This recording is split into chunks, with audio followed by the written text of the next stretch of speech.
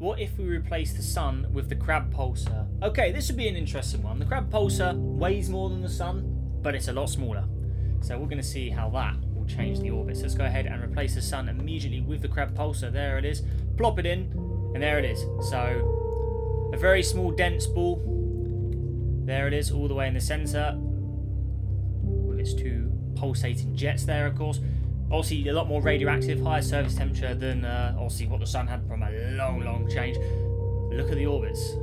Slightly stronger gravitational pull has slightly pulled in some of the orbits. A lot more uh, elongated and eccentric kind of orbits. If we speed up time a bit, let's really watch the show unfold here.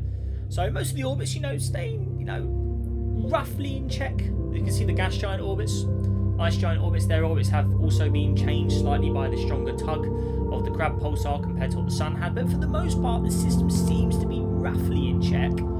I reckon over a long period of time, you probably would see some changes. Jupiter and Saturn now in different positions that would probably get to ejecting and distorting more orbits. If we go to the inner solar system, just pause it. Mercury seems to be doing okay. At minus 141 degrees. Earth completely snowball Still receiving some sunlight from the tiny pulsar. As you can see in the very far distance, is a tiny little object. So Earth is completely frozen over minus 200 now.